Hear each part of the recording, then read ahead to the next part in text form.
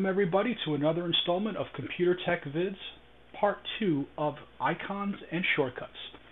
Today I wanted to show you how to create a shortcut to your modem. So what we're going to do is right click on the desktop. Go down to New and go down to Shortcut.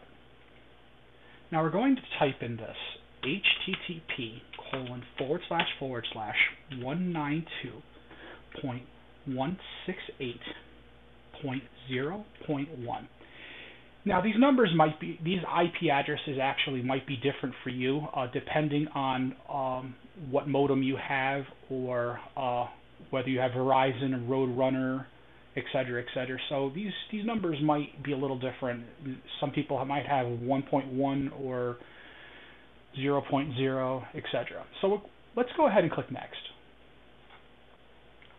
And we're going to call this modem. And then click finish.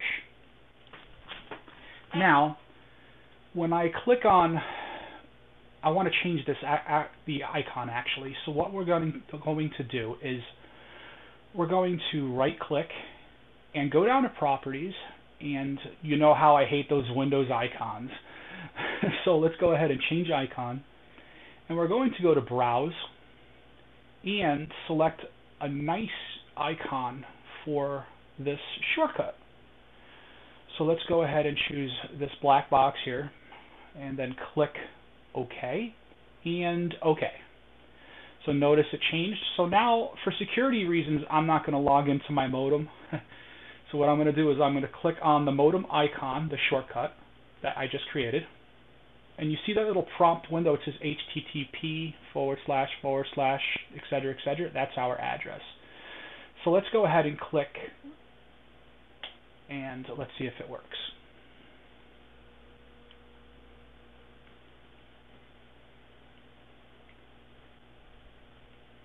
And there you have it It's actually going to my page for my modem. There you go. So let's go ahead and make one for the router too. So what we're going to do is right click again anywhere on the desktop. It could be here, it could be here, it could be here. but I'll, I'll let's for sole purpose let's do it right here. And go down to new and go to shortcut and then type in this address http and one nine two point one six eight point one point one. And we're going to name this one router. And once again, we're going to right click the shortcut, the icon, and change it. Go down to properties, go to change icon, go to browse, and let's choose another icon we're going to give it this lovely gold box here, or yellowish. Click OK, and click OK again. So now when we hit our shortcut that we just created to the router,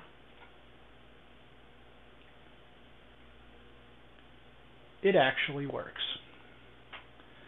So now, let's go and make a shortcut from or to actually the control panel. So what we're going to do is right click anywhere on the desktop. You could actually click here anywhere, right click the desktop and go down to new and go to shortcut right up here. So you don't have to go into your control panel and go through all these steps. You could actually create a shortcut on the desktop for your control panel. So what we're going to do is type in control.exe. It's that simple. Click next down here. And we're going to name this control panel. And then click finish. So there you have it. Now you have a shortcut to the control panel. So when you click it, it actually starts.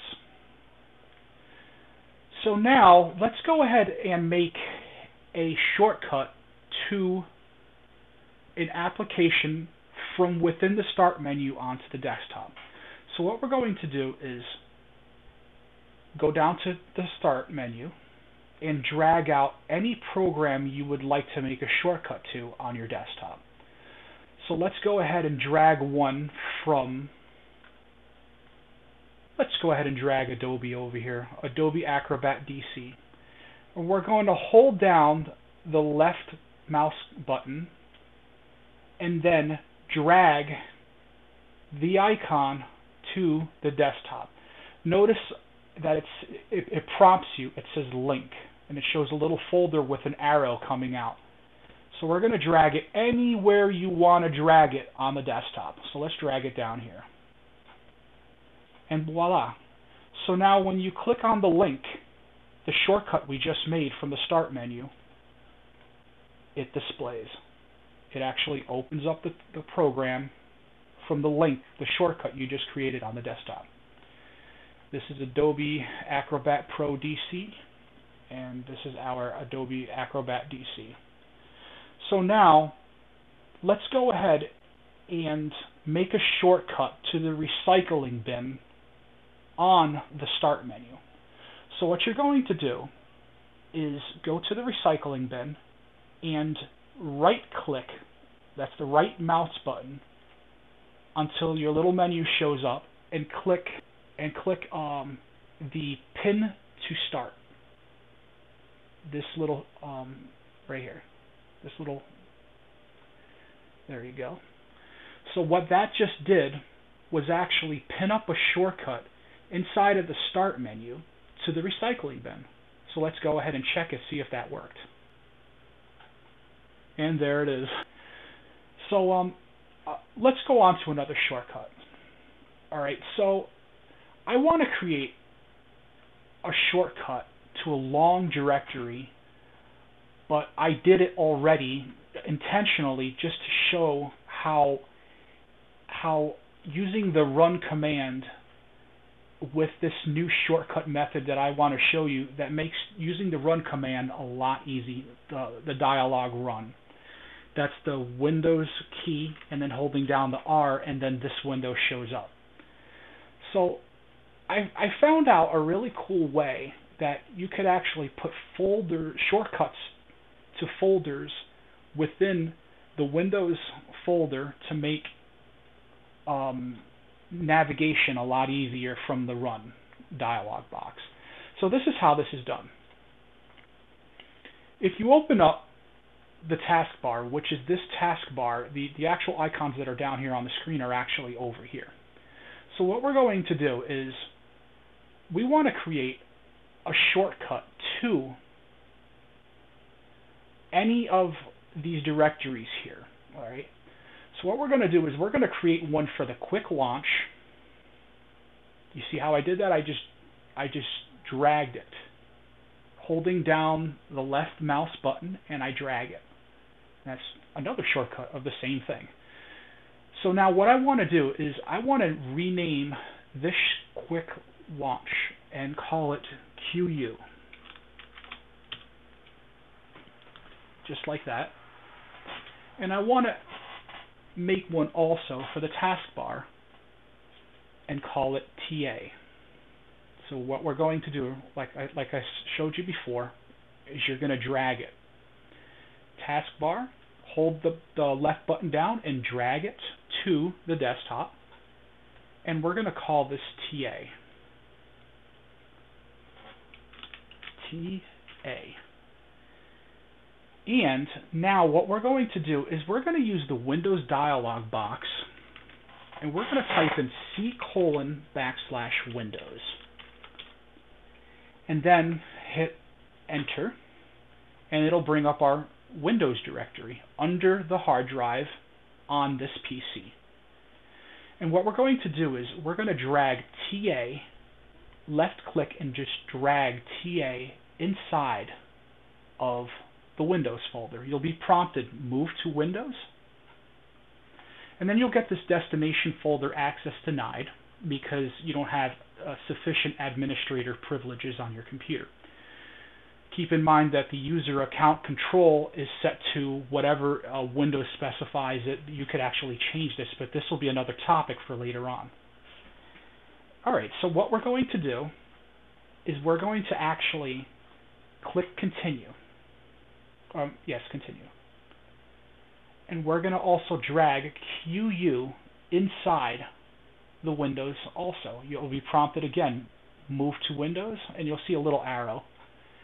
And then you'll see the destination folder access denied again. Go ahead and click continue.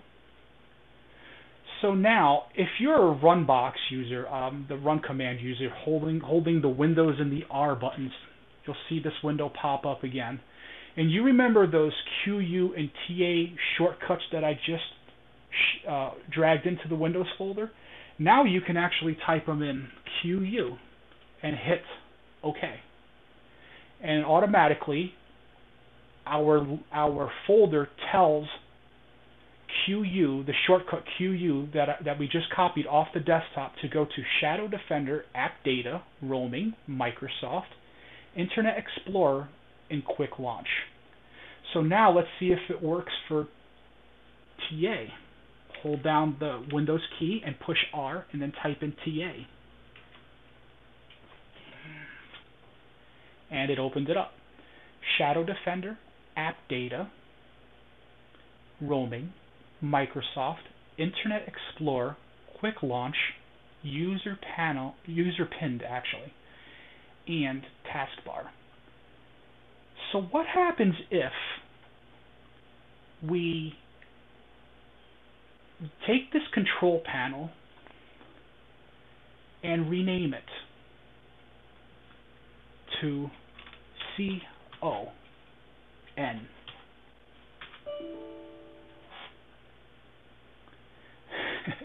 I did this on purpose because this is actually a file name that can be used, that cannot be used. It's actually a conditioned name um, that Microsoft puts aside for COM ports and LPT. You can't also you can't even use the word LPT1. LPT1.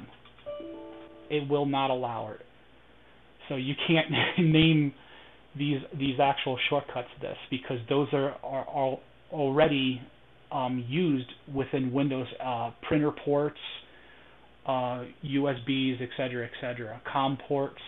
So let's go ahead and click OK, and we're going to name this uh, PAN.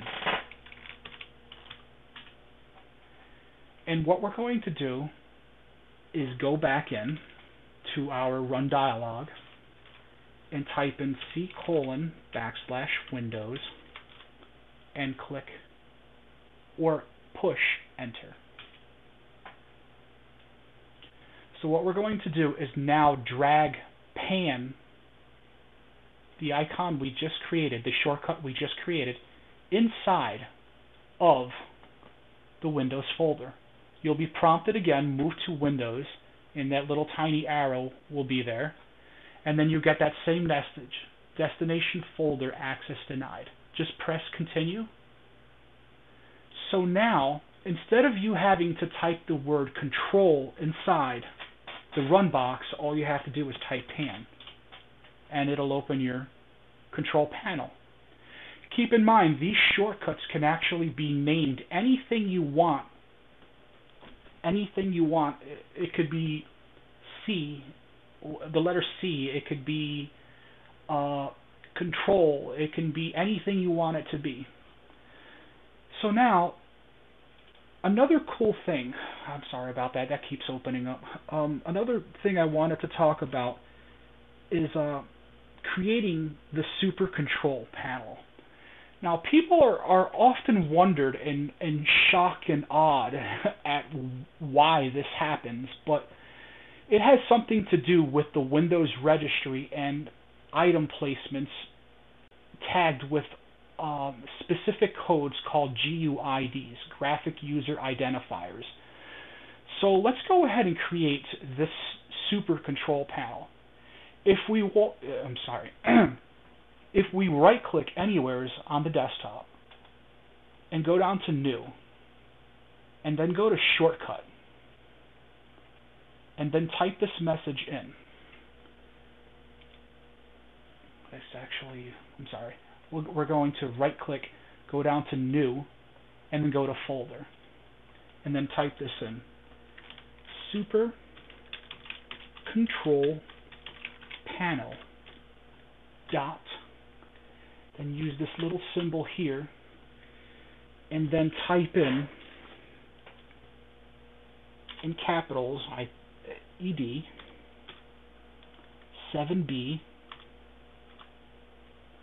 a4 70 dash 8e 54 dash 46 5e dash 82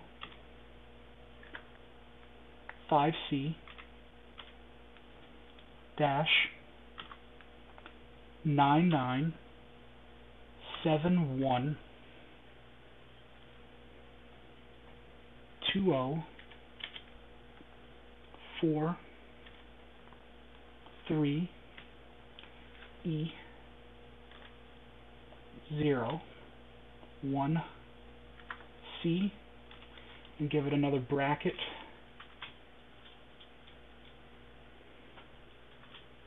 and there you have it. I linked a folder to a GUID inside of the system registry and I created a super control panel. Now let's go back and type in pan.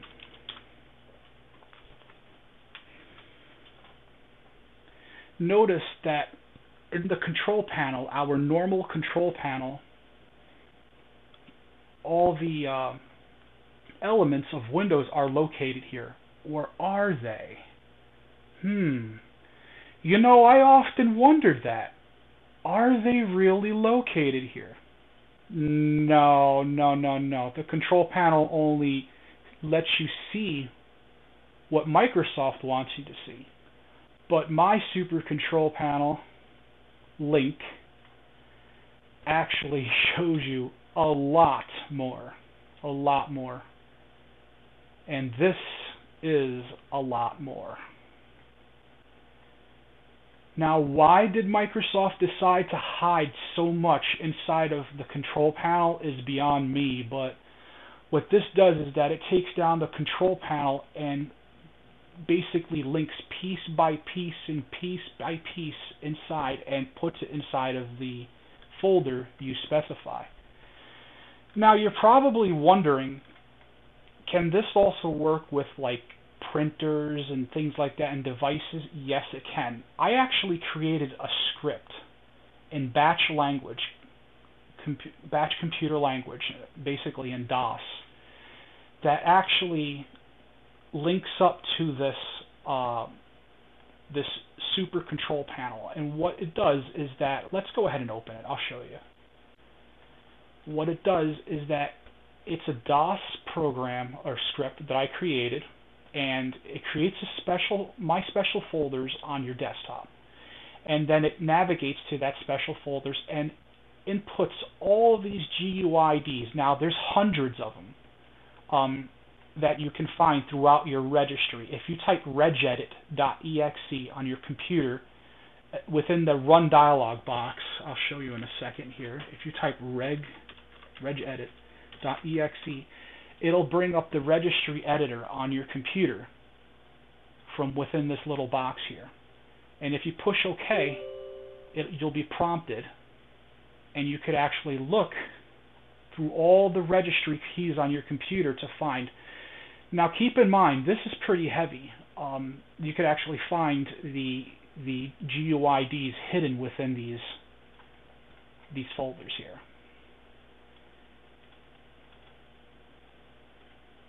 There's GUIs everywhere, GUIDs. So basically what this script does is that it does two things.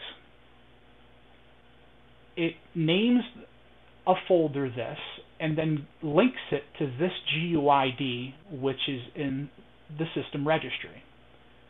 Right? That's what our super control panel is. So let's go ahead and run this script and you'll see that on the desktop it'll actually create this folder, navigate to this folder, and create these names and link them to this address, the GUID address.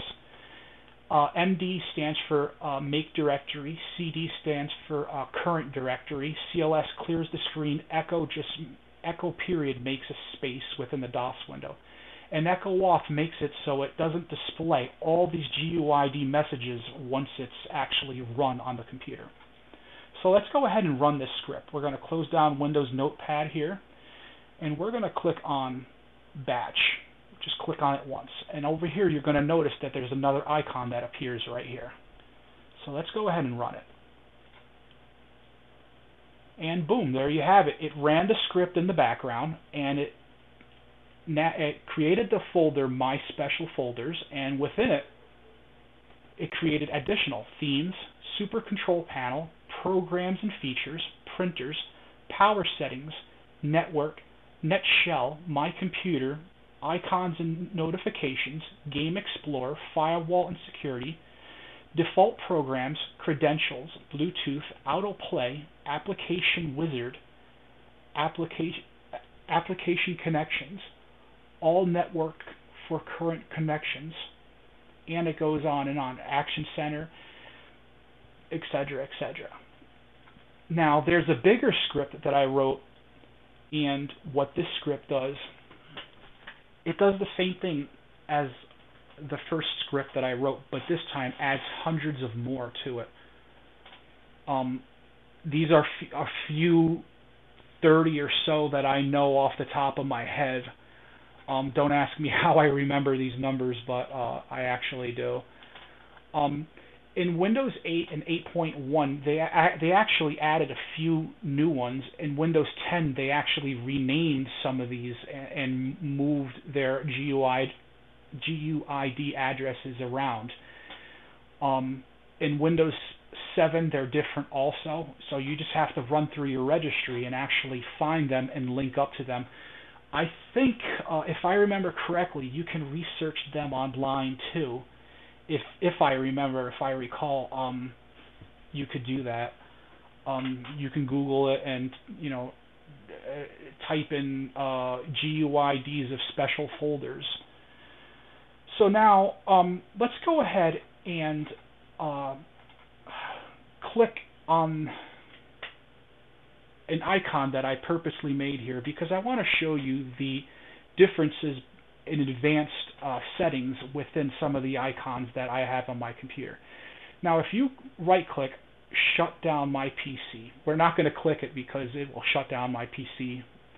So what we're going to do is we're going to right click it once, not left click it, and go down to properties right here and click it with the left. Now you'll notice that there's that there's actually a bunch of tabs. We have colors, security, details, previous versions, general, shortcut, options, font, and layout. Now these are pretty sim uh, simple and straightforward. If you click on colors, you can actually customize the console, the console colors. Um, it wouldn't be black. You can give it a different uh, a color of, like, say, purple with uh, black words or black font, etc. You could change the opacity to uh, the opacity. Uh, basically, what that does is that um, you can make the console semi-transparent and uh, make it non-transparent or almost totally translucent.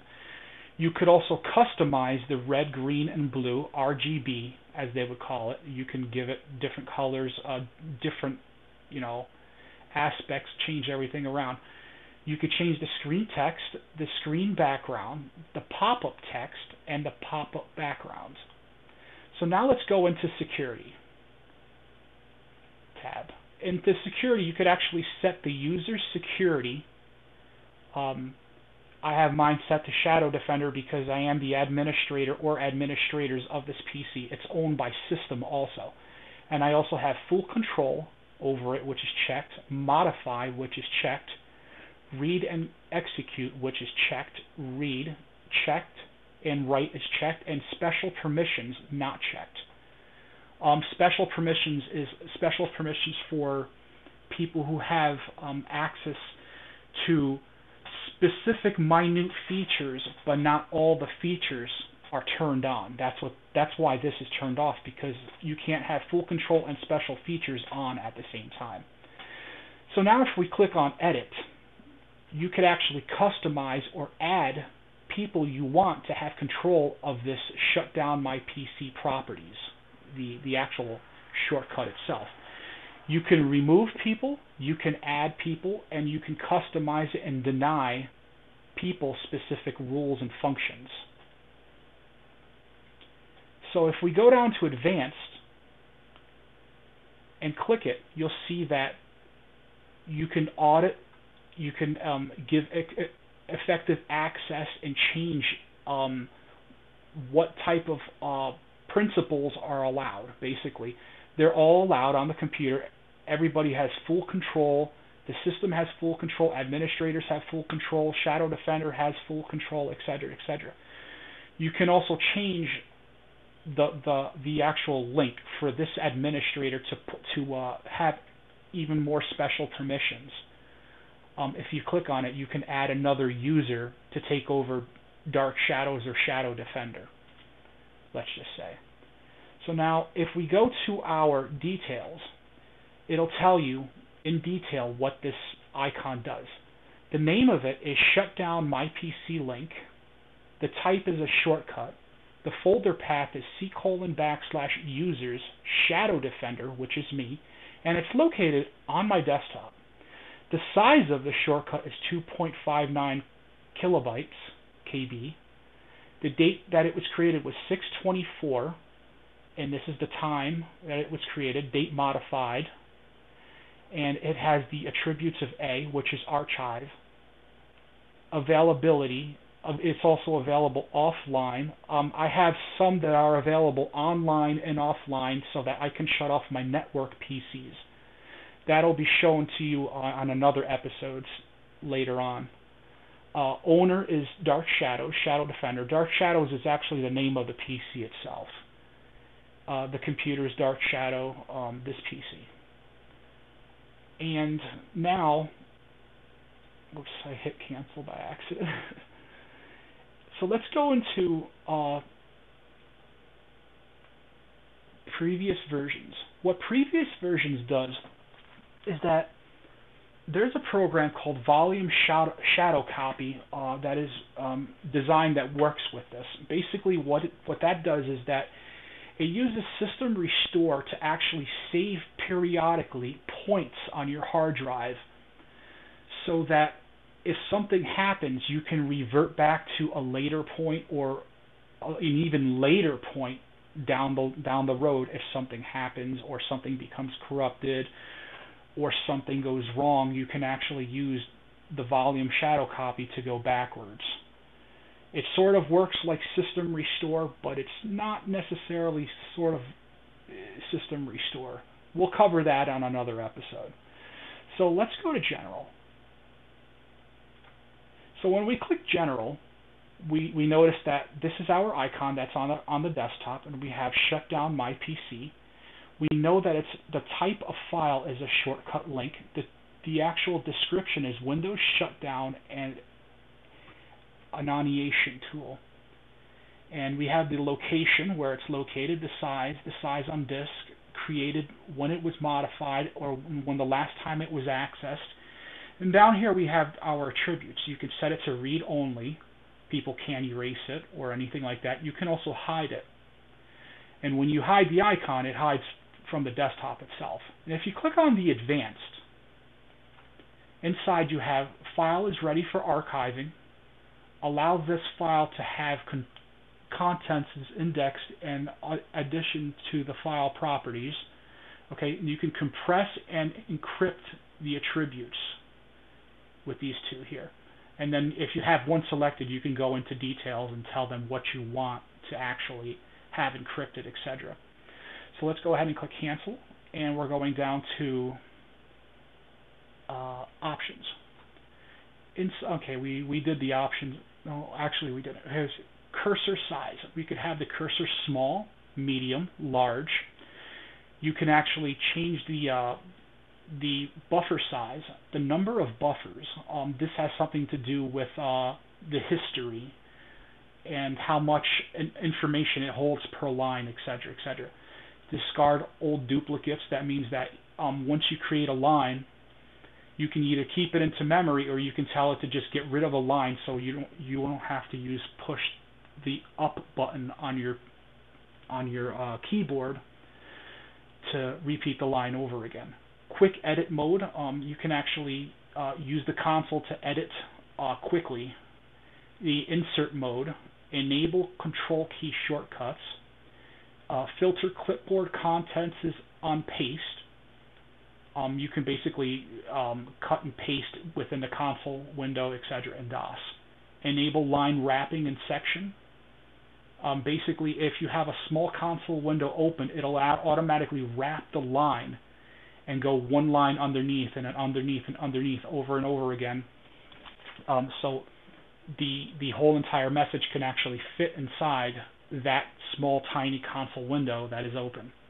And then we have extended text selection keys. Um, basically, what that does is is um, allows a large amount of text inside of the keys. So like when you push the up arrow or the down arrow on your keyboard, you actually have that entire message being displayed all at once. That's what that's all about. Um, use the legacy console. This allows you to actually uh, enable special features like clicking and dragging uh, the console window that opens up in DOS to full screen. Yes, that's right. They finally added the ability to actually drag the DOS prompt screen, the console itself, to full window, and it can actually go into window mode too, which is really cool, and full screen mode. So let's go into font. Over here, you can actually customize even it, it, this is amazing because they actually removed this in older versions of Windows. We're talking down to like 8 and 7. Vista was that's when they started trying to get rid of DOS and et cetera, et cetera. But you can actually change the size of the font. The font is actually the words that you see in the console. You can actually change them into any type of font. Uh, you can make your fonts bold, strong. You know they they're they're really dark and stand out to you. If you go into layout, you can actually customize um, your prompt console window when it first opens up to display how you want it to be displayed. Um, we're talking about changing the height and the width and the window size itself it's I'm sorry itself and the window's position where you want it either either bottom left bottom right upper right upper left in the center anywhere you want it to be to be dragged as you can see this one over here so that's about it and, co- and co- for covering this part of the icons so now we're go- going to go into the Microsoft Word 2013 icon now this is a a system icon. It's an exe executable icon. Now look, I want you to look closely on the tab selection and notice that the tabs are actually different. So we have General, Shortcuts, Security, Details, and Previous Version. Now where did all the other ones go? Well, that's because the um, exe files are actually, the shortcuts in, for exe files are actually treated differently uh, meaning that they don't have all those other specific properties uh, that DOS has. So if we go into general, we see the same thing. We have what it's what the icon is, what the program is called, the type of file, which is the shortcut link, the description, where it's located, its size, its size on the disk itself, uh, when it was created, when it was modified, the access and the attributes itself. Uh, read only, hidden, and advanced also. You see this same options in DOS. Now, for the shortcut itself, we have the shortcut type as an application. It's an exe file. target location is Office 2015, which is actually Microsoft Office 2013. It's located in this directory. That's where it's being targeted. In we're actually going to start this shortcut within C colon program files Microsoft Office and Office 2015, followed by these quotes that are actually in, in you know. so our shortcut keys is none. Our run is in normal window. We could actually set that to maximized, which is here, or minimized. So our comment, we have none. That's if you want to display a comment when you hover over the uh, shortcut itself. Now, you can open the file location as we covered this in the part one. You can change the icon and click on advanced. You can run this program as an administrator. And that's that's actually the only option available. And now we're going to go into security and it's the same type of concept that we did with the DOS. Now if we go into details, it'll tell you um, Microsoft Word 2013. It's a shortcut, again with the same things. So now we're going to cover the previous versions. And it's the same thing before. If there's something wrong, volume shadow copy can actually turn this back. As you can see, the little clock with the with the little arrow facing a different direction here. So let's go ahead and go into test folder. Now, when we right click on test folder, pay attention to the tabs also. It's the same exact thing. Why? Because it's an actual folder within Windows. They don't have any specific functions or, or aspects like the um, special shut down my computer DOS prompt window has. It's the same exact thing, as you can see.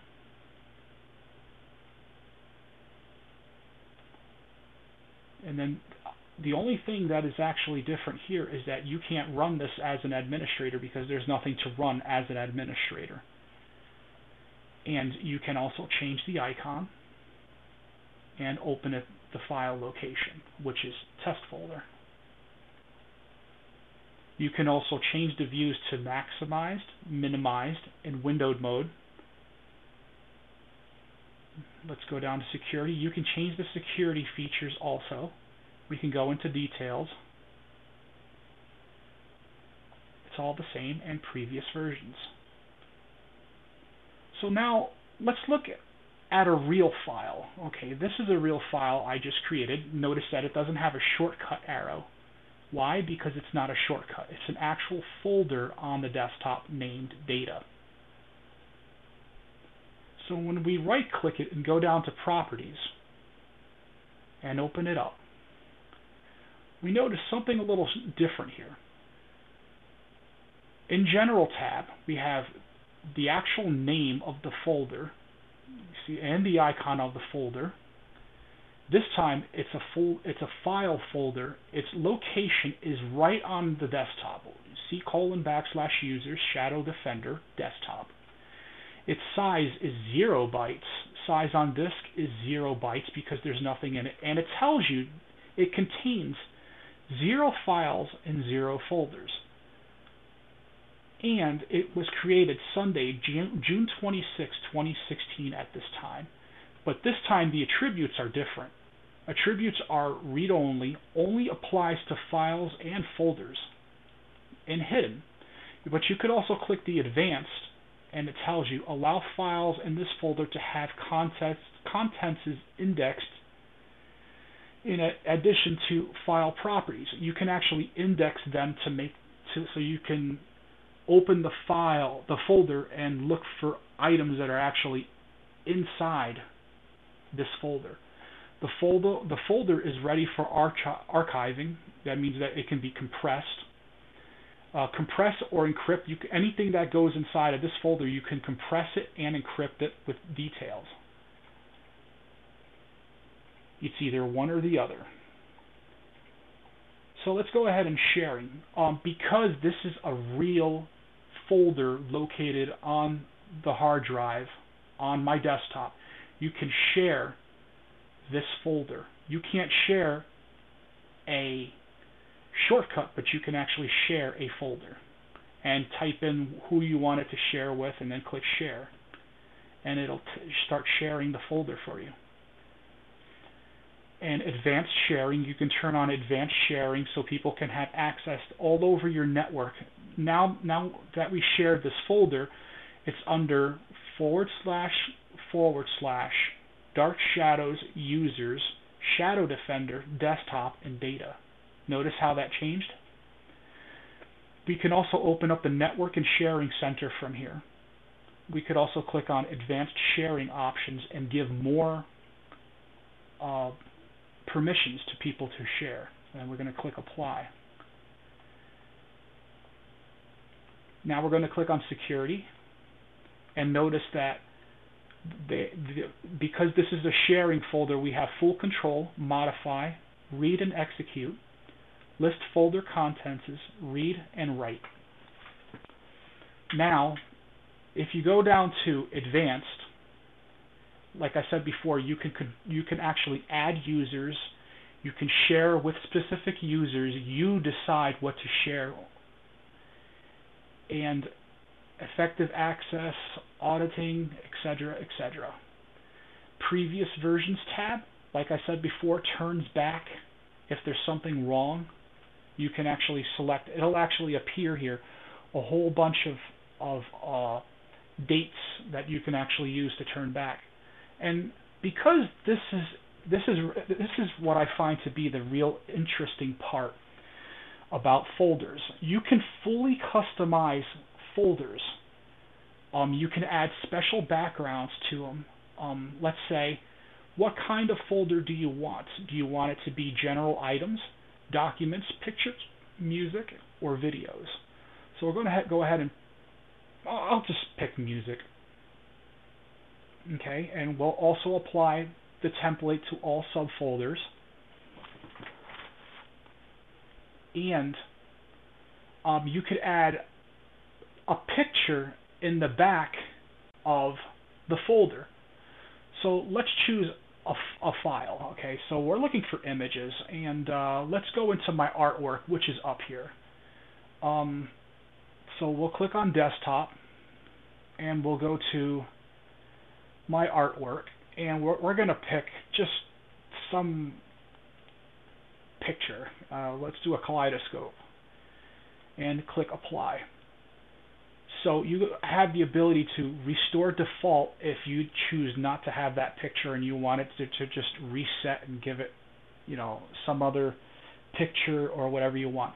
Also, you can change the folder icon or icons within a specific folder or subfolders that works with also too. Yes, that's right. In Windows 10, they added the ability that you can also change the subfolders icons and stuff like that, which is really cool because if you change the outside icon and you want it to reflect what's on all the other folders inside, you can do that. And then go to let's go ahead and give this a different icon also. So what we're going to do is actually we're going to use a Windows one this time. Yeah. Okay, we're going to give it this. And then click OK and apply. So now that we went and looked at the advanced options, let's go see what it did inside of the folder that we just changed. Notice that the icon is changed, and we're going ahead and click on it. The folder is empty. There's no picture because I chose the kaleidoscope and for some reason it didn't display. But uh, that's just weird. it could be another glitch in Windows. But uh, notice on the top now, because um, this I chose to be music fo folder, we have home, share, because we are sharing data with another person we're going to go to view. We have all the viewing options in here and go to play. Now keep in mind that all these options weren't available until we actually customized our folder. Now we're going to go ahead and look at a, a, a regular folder that is on my desktop desk and notice that the play option is not here because it's not a music folder. So if you go to view and share, we don't have some of the share options not available because this folder is not being shared with uh, other people out there. And we click on home and file. And that's that's about covers everything for this uh, second part. And uh, I hope you enjoyed this tutorial.